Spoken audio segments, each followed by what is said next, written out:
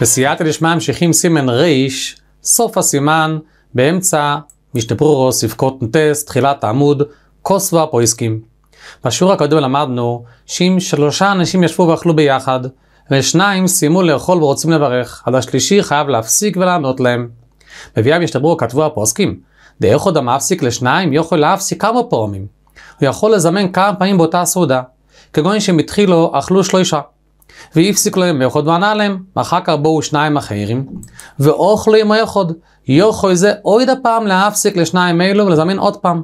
דלשייך למה פורח זימון מניו, כי מי שנצטרף עמו שניים שהם הרוב, שלא יזימנו. יכול לי לזמן לא אפילו שהוא כבר זימן בסעודה זו. וכן פעם שלישית הוא ממשיך לאכול, באים עוד שניים, הוא מזמן איתם, אחר כך הוא ממשיך לאכול, ככה יכול להיות אפילו כמה פעמים. וברלוכה בסימן קצ"ג הוא נשאר בצריכים ולדיני, אבל כאן הוא סותם שככה לוכה.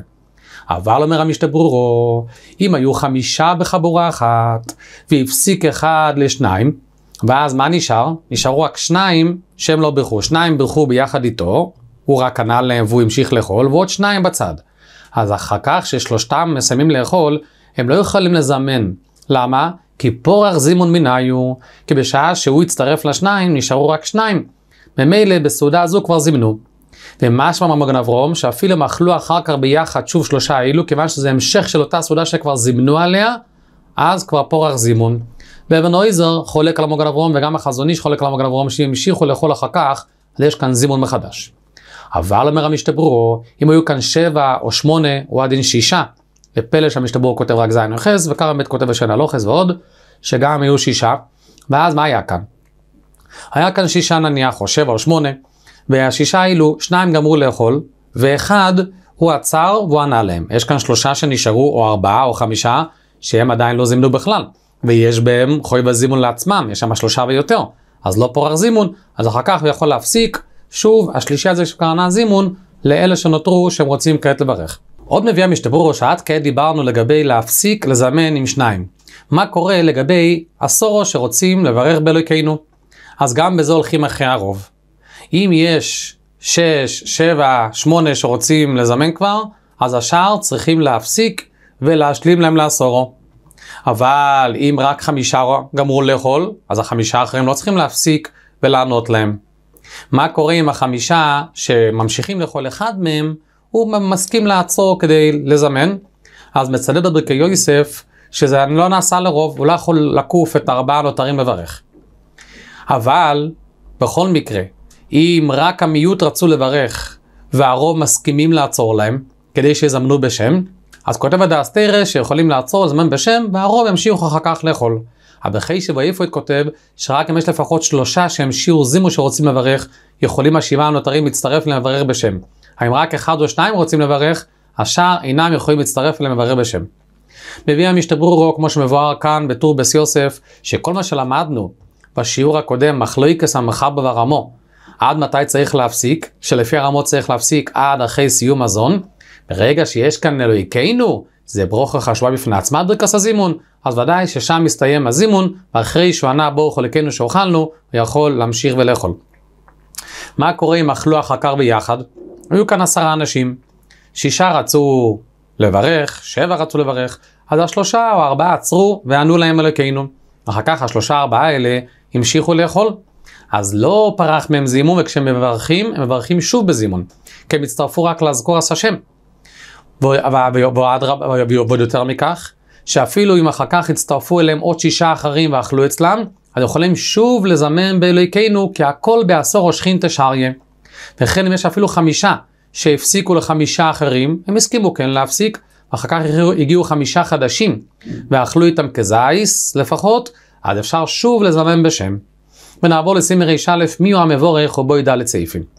אז קודם כמובן כאן שבליל הסדר כתוב בהלכות פסח שהבעל הבית מברך שנאמר תויב עין יבורך אל תקרא יבורך או יבורך והוא תויב עין כלומר כל דכפין יסב יכול אפילו שיש שם אורח אבל מכל מקום אין קפדם ברך אחר. עכשיו מה קורה מי מברך אז קודם כל אז עוד מעט נראה אם יש אורח. המחר בו פותח באופן שכל המסובין הם בעלי שאכלו משלהם. כי אם היה בעל הבית אחד, אז דבר תלוי בו, ליתן לאורח לברך, כמו שנראה. או שיכול לתת לאחד מבני ביתו, וגם אחד מבני ביתו יברר ברכס או ירח, כמו שכותב המוגן אברום, שגם בני בייס הם אורחים, כל מה שלא משלמים על הסעודה. בחורים בישיבה, כותב אור לציון, שבחור ברכס או ירח, במקום בעל הבייס אמרו בעל הסעודה, נדיב. הגריש של יאשר כותב ששם לא יאמרו ברכס או ירח. הקופונים אומר המחבר, אם יש כמה, כמה בעלי בתים, אז גודל מבורר, דהיינו הגדול בחוכמה שבכל המסובין, הוא יברר בקסמוזן לכולם. ואפילו בזמננו שהמנהג שכל אחד מברך לעצמו בלחש, לא כמו בזמן הגימורה שרק הוא בירר וכולם שמעו. מכל מקום, מנהג דרך ארץ לכבדו, שיהיה הוא המזמן. אם יש כאן שני תלמידי חכם שקולים בחוכמה, ואחד מהם הוא גם בנו של תלמיד חכם עוצום, כותב הכף החיים שהוא קודם לברוכה. אם יש שם שני תלמידי חכמים, אחד מפולפל בתמוד, ואחד בקיא בו אירועס, אז, אז הוא מדמה מהגימור בו איריאס הכף החיים, שהבקיא בו אירועס קודם. אומר המשתברו, אם הגודל הגדול מוציא ליכה, הוא כל הזמן משתעל, אז יברך אחר, כן זה נכון שיפסיק הרבה פעמים ויהיה רוקק ואחרים ימתינו. יש מקומות שנוהגים שנותנים לאבל על אביו ואמו כל י"ב חודש לברך. אבל דווקא כשכולם שווים, דהיינו שכולם אוכלים משלהם, אבל אם הוא אוכל עם פיתו של בעל הבית, אז תלוי ברצון בעל הבית למי שירצה ייתן, וכל שכן אם בעל הבית רוצה לברך בעצמו. המקור של המנהג הזה כותב בשאילת יעב"ץ, שלא הוזכר לא בראשוני לא באחרונים, רק מנהג בעלמא לסגל לעצמו מצוות ומעשים טובים, שעל ידם מתעלה נפש האדם בגן עדן, ומקל בכך מדינו של האב באותו בייס חוידש, דברו מזעקה ובכל מצווה שויסק תיקונו. ממשיך המחבר, הגודל מבורך אפילו בו בסוף הסעודה, ככל שהוא מצטרף אליהם לזימו שלמדנו בסמי קצ"ז, שאלה שכבר סיימו, אם יביאו להם דברים תמימים הם ימשיכו לאכול, אז הוא מצטרף והוא מזמן. המסתבר שאם הוא רוצה כעת להתעכב והם רוצים כבר לברך וללכת, אז לא צריכים להמתין עליו, אלא הוא יעצור ויענה להם, כמו שלמדנו לעיל בסימן הקודם, והם ילכו, יוכלו ללכת. אבל מה קורה אם הגודל רוצה לכבד אדם אחר, רוצה ליתן רשוס לקוטן לבורך, רשאי. זה כל זה כשדיברנו שיש שם כמה בעלי בתים. ואנה מלך שאין שם אורח, אבל אם יש שם אורח שאוכל מפיתו של בעל הבית, הוא מבורך אפילו אם בעל הבית גודל ממנו בחוכמו, כדי שיבורך לבעל הבית. אם יש שם כמה אורחים, אז תלוי לפי דעתו של בעל הבית, מלכבד אפילו לא קוטן שבהם. והיכן אומרים ברכס אורח, מובא כמה מרזוביטרי שאומרים זאת בסוף אורחנו לפני במורה מלמדו. בסדר היייבץ כותב שמשלבים זאת אורחנו נבורך את בעל הבית הזה ואישתו בו וכל השלוי, יהי רוצן שלו יבוש. אמנם מדברי הרמב"ם דקדקו אבן האוזל והגריז, שאומר מוסיף בו, דהיינו שמוסיפים זאת בברכס הטוב והמתי, ולכן אין להפסיק מיד לא ילמה לחסרנו, אפילו לא יענו עומל הזה, ימשיך רחמון ברכס ירח. ומה ברוך המבורך כותב מחר בעיר רוצן של עבד להם בעל הבית הזה, לא יבוא אילם הזה ולא יבוא אילם הבא, ויצליח בכל נחוסוב, וינוחוסוב מוצלוחים וקרובים לעיר, ועל איש לא יצוטו ממס יודוב, ועל יזדקק לפונו שום דבר חית והירו אובן מעט ועדוילום, ובסעיף לחם חבודו יסו תמה, למה משנים בזמננו, בזמנם אמרו רק אורח מבורך בעל הבית הזה, ולא אמרו את כל הנוסח של הגימורה. בזמננו, שכל אחד מברר בקסמוזם בנפרד, כותב האור חשורחול שכל אורח מחויב לברך את בעל הבית בפני עצמו, וכך כתב בן אישך וכאן דעס הגריר של ישיב.